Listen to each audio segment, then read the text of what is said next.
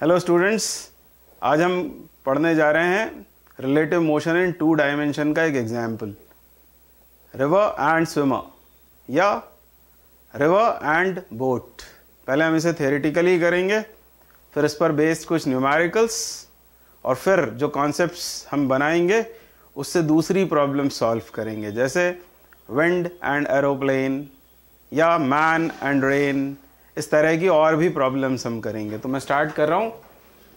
River and swimmer तो river swimmer problem में river and swimmer problem में तीन एंटाइटीज की हम बात करते हैं। और वो तीन एंटाइटीज कौन कौन सी हैं? एक तो रिवर दूसरा स्विमर स्विमर या मैन एक ही बात है। और तीसरी बात होती है ग्राउंड की। और यहाँ तीन वेलोसिटीज इन्वॉल्व होती हैं इस क्वेश्चन में, इस प्रॉब्लम में। पहली velocity of river with respect to ground जिसको हम वी आर से रिप्रेजेंट करते हैं। इसमें जी सब्सक्रिप्ट लगाने की ज़रूरत नहीं होती है। V R is velocity of river with respect to ground दूसरी हम बात करते हैं velocity of man with respect to ground जिसे हम वी एम लिखते हैं। और तीसरी वेलोसिटी होती है velocity of man with respect to river ये तीन वेलोसिटीज की यहाँ बात होगी। क्लियरली रिवर और स्विमर ये दोनों मूविंग है और ग्राउंड रेस्ट में है या स्टेशनरी है। ये दोनों मूविंग बॉडीज हैं और स्विमर की वेलोसिटी हम विद रिस्पेक्ट टू रिवर बता रहे हैं यहाँ। Of man with respect to river मतलब एक मूविंग बॉडी की वेलोसिटी दूसरे मूविंग बॉडी के रिलेटिव वी एम आर ये हम बता रहे हैं। यानी velocity of man with respect to river ये आराम से निकल आएगी, क्योंकि हमने रिलेटिव वेलोसिटी का ये फॉर्मूला पढ़ रखा है। हम लिख सकते हैं V M R is equal to V M minus V R ऐसा लिख सकते हैं। तो ये फॉर्मूला लगाकर ही हम इस प्रॉब्लम को सॉल्व करते हैं।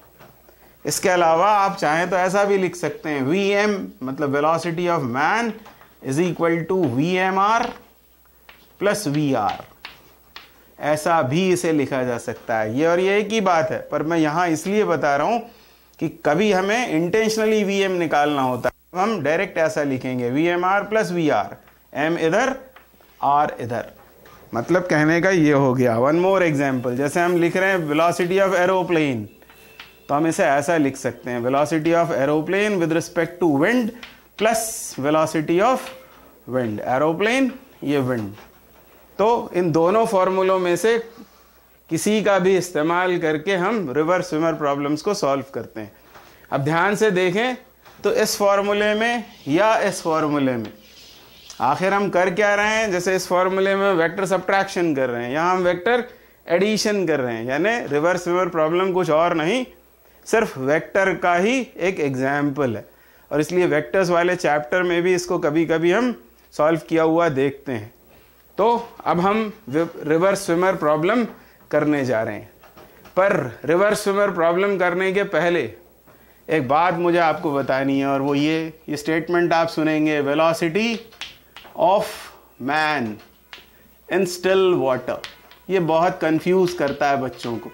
ये क्या लिखा हुआ है इसको समझने के लिए यदि हम ऐसा लिखें V M is equal to तो हम लिखेंगे V M R velocity of man with respect to river plus velocity of river और स्टिल वाटर बोलने का मतलब क्या हो गया? स्टिल वाटर का मतलब हो गया वी आर का ज़ीरो होना। मतलब रिवर फ्लो नहीं हो रही है। और in that case V M is equal to हो गया वी एम आर मतलब velocity of man in still water is equal to velocity of man with respect to river ये हमको न्यूमेरिकल प्रॉब्लम्स में इसकी बड़ी ज़रूरत पड़ेगी।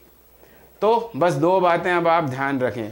नंबर एक V M R is equal to V M vector minus V R vector या V M vector is equal to V M R vector plus V R vector and velocity of man in still water is nothing but velocity of man with respect to river.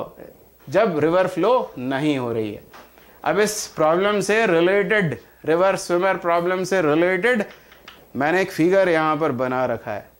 इसमें ये जो vector है, ये ये represent कर रहा है velocity of river और ये है रिवर की विर्थ इसको हम सपोज़ कर लेते हैं कि ये डी है. तो D is width of river what is V R velocity of river और सिर्फ़ रिवर बोला है मतलब velocity of river with respect to ground और ये है velocity of man with respect to river तो ये वेक्टर हमको गिवन है, दोनों.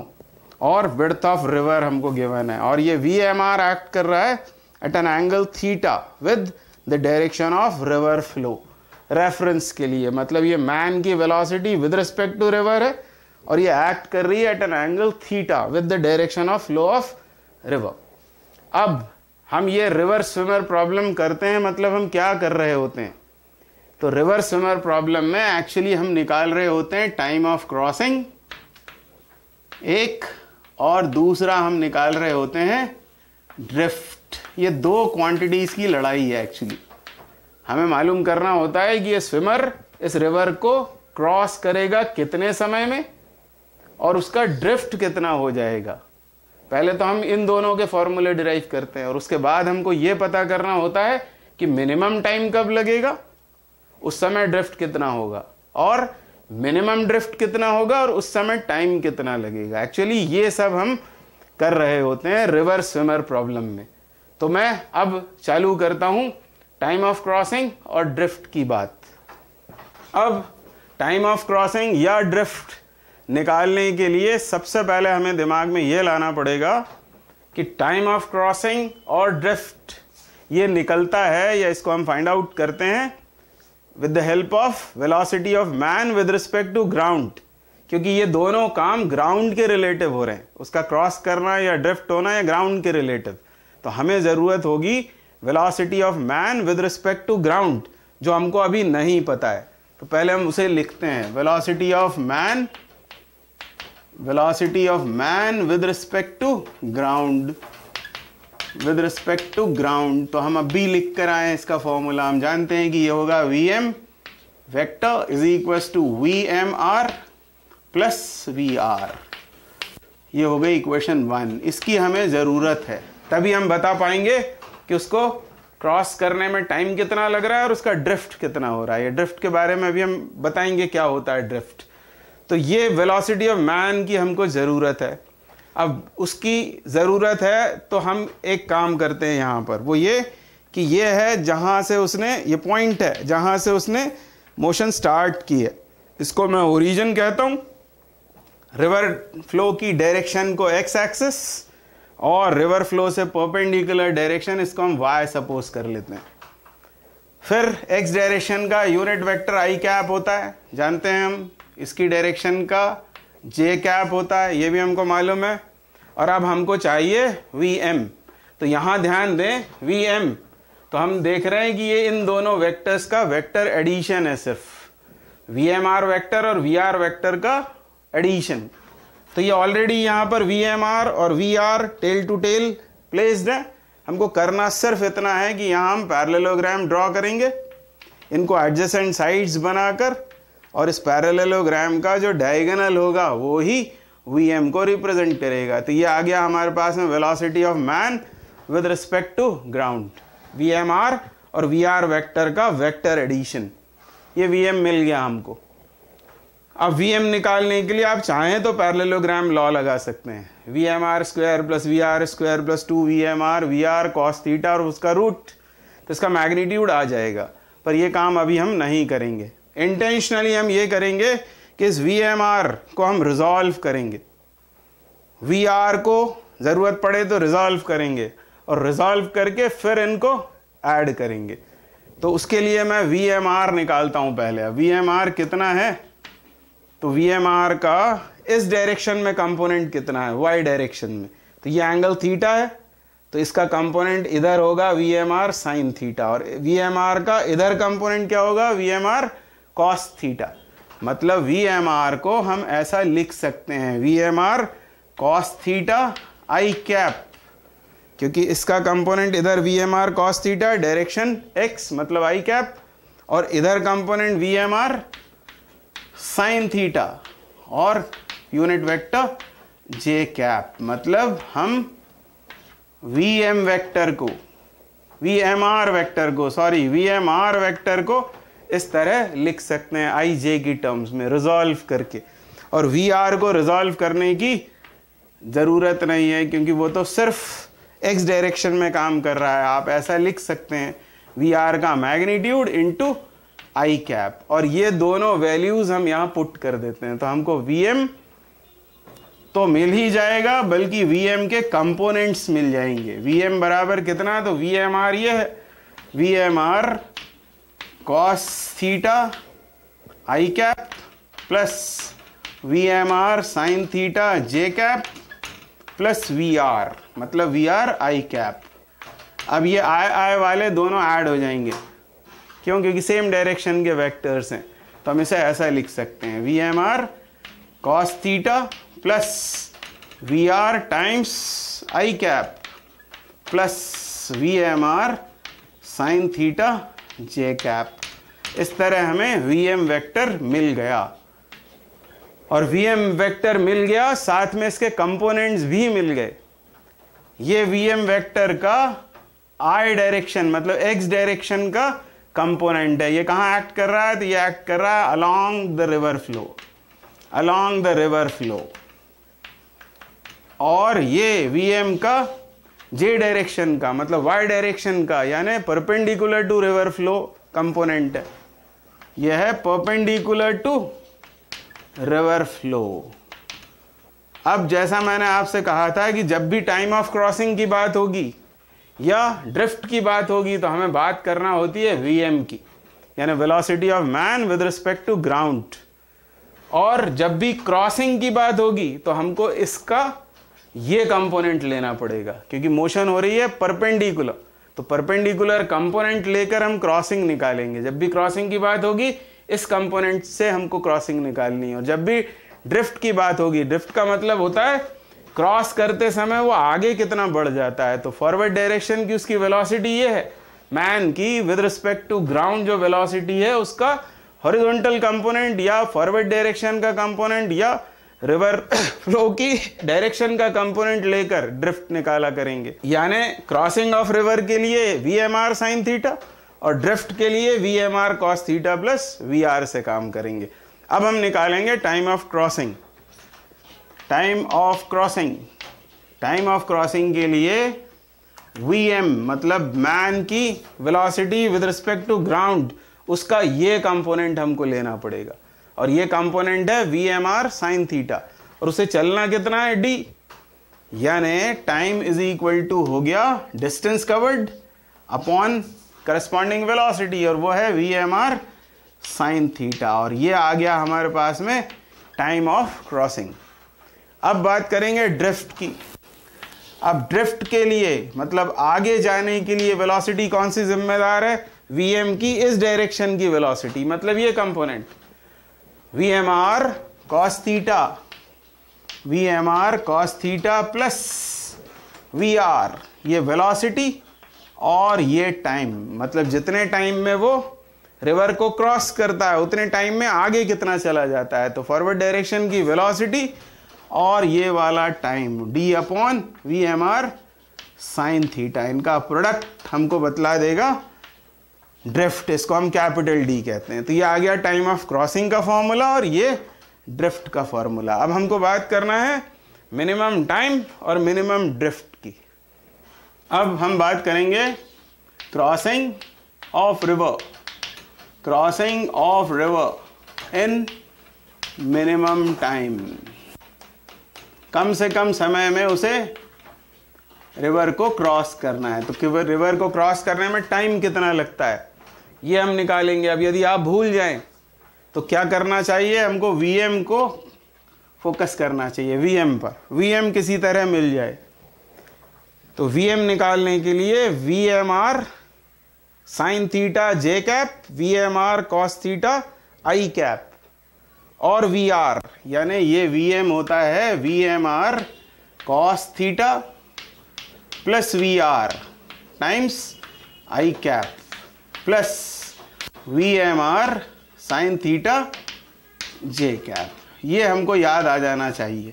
और जैसे ही ये याद आएगा आपको तो आप टाइम बता दोगे। टाइम के लिए बस ये वाली वेलोसिटी लेनी है इस डायरेक्शन की। वी एम का ये कंपोनेंट जैसे आपको ये याद आएगा D upon V M R sine theta तो आप बतला पाएँगे कि मिनिमम टाइम कब लगेगा। अब टाइम को मिनिमम होने के लिए ये डी और वी एम आर तो पहले से फिक्स हो जाते हैं। वर्थ ऑफ़ रिवर कांस्टेंट है। वी एम आर वो मैन फिक्स हो गया तो वी एम आर भी फिक्स हो गया। अब बचता है सिर्फ़ साइन थीटा अब टी के मिनिमम होने के लिए इसे मैक्सिमम होना पड़ेगा। साइन थीटा को मैक्सिमम होना पड़ेगा। मैक्सिमम मतलब वन और ये वन तब होगा जब थीटा कितना हो, थीटा हो 90 डिग्री। बस ये कंडीशन आ गई मिनिमम टाइम की। यानी थीटा 90 है अब थीटा भूले भूले नहीं होंगे आपकी, थीटा मतलब होता है इस वी एम आर की रिवर फ्लो के साथ डायरेक्शन मतलब रिवर फ्लो से कितना एंगल बना है वी एम आर का। Velocity of man with respect to river मतलब ये हो जाएगा इस केस में V M R river flow से किस एंगल पर? 90 डिग्री के एंगल पर जब वो हेड करेगा, यहाँ से यूँ चलना शुरू करेगा विद रिस्पेक्ट टू रिवर तब वो मिनिमम टाइम में रिवर को क्रॉस कर पाएगा। मतलब करस्पॉन्डिंग फिगर ये हो गया। अब क्या ड्रिफ्ट ज़ीरो होगा इस केस में? नहीं, क्यों नहीं होगा ड्रिफ्ट ज़ीरो क्योंकि यदि इन दोनों वेक्टर्स से हम वेक्टर रिजल्टेंट फाइंड करें इन दोनों का वी आर का और वी एम आर का तो वो हमें मिलता है वी एम और वी एम होता है ग्राउंड के रिलेटिव वेलोसिटी मतलब यहाँ से चलने पर वो यहाँ रीच करेगा। भले ही उसे मिनिमम टाइम लगेगा, पर ड्रिफ्ट मिनिमम नहीं होगा। ड्रिफ्ट मिनिमम मतलब ड्रिफ्ट का ज़ीरो हो जाना तो यहाँ वो ज़ीरो नहीं। मतलब टाइम भले ही मिनिमम हो गया, और मिनिमम टाइम कितना? मिनिमम टाइम हो गया D upon V M R पर करस्पॉन्डिंग ड्रिफ्ट करस्पॉन्डिंग ड्रिफ्ट कितना होगा? तो ड्रिफ्ट के लिए हम क्या याद लाएँगे? फॉरवर्ड डायरेक्शन की वेलोसिटी फॉरवर्ड की वेलोसिटी ये, और इसमें हमें इस पर्टिकुलर केस के लिए थीटा को 90 डालना है। थीटा 90 डालेंगे तो टर्म वैनिश फॉरवर्ड में वेलोसिटी सिर्फ़ वी आर जो फिगर से भी दिख रही है। फॉरवर्ड डायरेक्शन की वेलोसिटी वी आर इंटू ये time minimum V M R पर ध्यान ये रखेंगे कि भले ही टाइम मिनिमम हो गया हो, पर ड्रिफ्ट इस केस में मिनिमम नहीं होता है। तो ये एक केस हो गया crossing the river in minimum time अब दूसरा केस दूसरे केस में हम बात कर रहे हैं crossing the river crossing the river in minimum drift in minimum drift मतलब शॉर्टेस्ट पाथ की बात हो रही है। शॉर्टेस्ट पाथ ये शॉर्टेस्ट टाइम ये shortest path drift shortest drift भी कह सकते हैं। ड्रिफ्ट का मतलब ये होता है, आगे कितना गया। यहाँ से उसने तैरना शुरू किया है। और यदि वो ऑपोजिट बैंक के इस पॉइंट पर पहुँच जाए, सीधे तो आगे तो वो गया ही नहीं फॉरवर्ड डायरेक्शन में। तब हम कहते हैं कि ड्रिफ्ट मिनिमम हो गया। मतलब ड्रिफ्ट ज़ीरो होना मतलब ही मिनिमम हो जाना। अब ड्रिफ्ट का क्या फॉर्मूला हमने पढ़ा है? फॉरवर्ड डायरेक्शन की वेलोसिटी, फॉरवर्ड की वेलोसिटी है V M R cos theta plus V R ये फॉरवर्ड डायरेक्शन की वेलोसिटी और टाइम का जनरल फॉर्मूला, वो है डी अपॉन ये V M R sine theta अब जैसा हमने पहले बात की थी, ये मिनिमम कैसे हो सकता है या ज़ीरो कैसे हो सकता है? तो ये क्वांटिटीज़ तो कंट्रीब्यूट कुछ करेंगे नहीं। इसके ऊपर हमें फोकस करना पड़ेगा, इस टर्म के ऊपर। इसके ज़ीरो होने के लिए इसे ज़ीरो होना पड़ेगा और इसे ज़ीरो होना पड़ेगा in other words cos theta को minus V R upon V M R बनना पड़ेगा। इस केस में, इस केस में ड्रिफ्ट मिनिमम हो जाएगा। यानी कॉस थीटा जब minus V R upon V M R हो, मैंने कुछ नहीं, इसे ज़ीरो कर लिया है और उसमें से कॉस थीटा वर्कआउट कर लिया है। Minus V R upon V M R अब ये तो कंडीशन निकल आई। अब इसी से हमको ये बात समझ में आती है। पहली बात ये समझ में आती है कि कॉस थीटा यदि नेगेटिव है कॉस थीटा का नेगेटिव होना हमको ये बता रहा है कि थीटा ऑप्ट्यूज है। यानी उसे किस डायरेक्शन में हेड करना पड़ेगा, ये यहाँ से समझ में आता है हमें। इसका करस्पॉन्डिंग फिगर मैं यहाँ ड्रॉ करता हूँ। इसका मतलब कहने का ये हो गया कि थीटा को 90 होना चाहिए ऑप्टिव्स होना चाहिए एंगल और थीटा क्या होता है? तो थीटा होता है वीएमआर का रिवर फ्लो से एंगल इस वेक्टर का velocity of man with respect to river what it makes with river flow तो ये वाई ये एक्स और उसे ऐसा कहीं जाना पड़ेगा। इस तरह से हेड करना पड़ेगा इसको। पूरा यहाँ मिलाकर मैं इसे कह देता हूँ। ये होना पड़ेगा किसको? वी एम आर को। मतलब किसी ऑप्टिव्स एंगल पर उसे चलना पड़ेगा यहाँ से। इस बैंक से जब तक वो ऑप्टिव्स एंगल पर नहीं चलेगा, तब तक वो शॉर्टेस्ट पाथ पर नहीं जा पाएगा। और होगा क्या? होगा ये कि ये होगा रिवर फ्लो मतलब ये हो गया वी आर ये हो गया वी एम आर और ये बन जाएगा उन दोनों का रिजल्टेंट वी एम और वो क्रॉस करता है रिजल्टेंट ये ग्राउंड की रिलेटिव वेलोसिटी है। ये वेलोसिटी इधर आई, तभी वो ठीक ऑपोजिट बैंक पर पहुंचेगा और डी डिस्टेंस वो कवर करेगा, जिसको हम कहते हैं शॉर्टेस्ट पाथ ड्रिफ्ट ज़ीरो हो जाएगा। आगे नहीं गया ऑपोजिट बैंक के सीख ठीक सामने वाले पॉइंट पर वो पहुँचा है। ड्रिफ्ट ज़ीरो हो गया। पर ड्रिफ्ट ज़ीरो हुआ, पर ये पाथ उसने फॉलो किया। कितना डी डी डिस्टेंस वो कवर करेगा। तो एक तो बात ये समझ में आती है कि उसको किसी ऑप्टिव एंगल पर जाना पड़ेगा। एक बात ये। दूसरी बात, हमको यहाँ से ये सीखनी है कि इस कॉस थीटा का मैग्नीट्यूड कितना है? तो ये है V R upon V M R और हमको पता है कि कॉस थीटा की वैल्यू कभी भी एक से ज़्यादा नहीं हो सकती। यानी cos theta is always less than और इक्वल टू वन और ये लेस देन और इक्वल टू वन कब होगा? तो ये होगा जब वी आर लेस देन और इक्वल टू क्या हो? वी एम आर मतलब इस केस के होने की ये शर्त हो गई कि ये पॉसिबल तभी है जब मिनिमम ड्रिफ्ट हो, जब रिवर की वेलोसिटी कम हो। किससे? Of man with respect to river तो इसकी एक और कंडीशन निकल आई। अब हम जानना चाहते हैं कि ड्रिफ्ट तो ज़ीरो हो गया, पर क्या टाइम भी ज़ीरो है? नहीं। अब करस्पॉन्डिंग टाइम कितना होगा? तो टाइम के लिए हमें डी ये डिस्टेंस उसने कवर की डी किस वेलोसिटी से? वी एम से। तो यहाँ पर वी एम लिख लेना पड़ेगा। एक तो फॉर्मूला ये आ गया। दूसरी बात, अब अपन वेक्टर के स्केल लगाए यहाँ, थोड़े से। तो इस एंगल को यदि मैं फाई कह दूँ, ये फाई एंगल क्या है? तो ये है वी एम आर ने जो वर्थ ऑफ़ रिवर से बनाया या वी एम से जो बनाया, वो एंगल है फाई इसको यदि हम फाई कह दें तो वी एम आर का इधर कंपोनेंट क्या होगा? वी एम आर का इधर कंपोनेंट यानी V M R cos phi इसे लिखा जा सकता है V M R cos phi ये एक और फॉर्मूला बन गया. इसके अलावा यहाँ थोड़ी सी ट्रिग्नोमेट्री लगाएँ. तो हम लिख सकते हैं cos phi is equal to root of one minus sine square phi और ये वेक्टर ट्रायंगल है। इस वी आर को हम यहाँ दिखा सकते हैं चाहें तो। ये देखिए, ऐसे ऐसे ऐसे, ये रिजल्टेंट हो जाएगा। ये दोनों ऐड हो रहे हैं, ये रिजल्टेंट है। तो साइन फाइव का वैल्यू हम क्या लिख सकते हैं? इस ट्रायंगल से one minus sine theta perpendicular upon hypotenuse यानी V R square upon V M R square. और इसको आगे सॉल्व करें तो हम ऐसा भी लिख सकते हैं। Root of V M R square minus V R square upon V M R square. ऐसा भी लिख सकते हैं।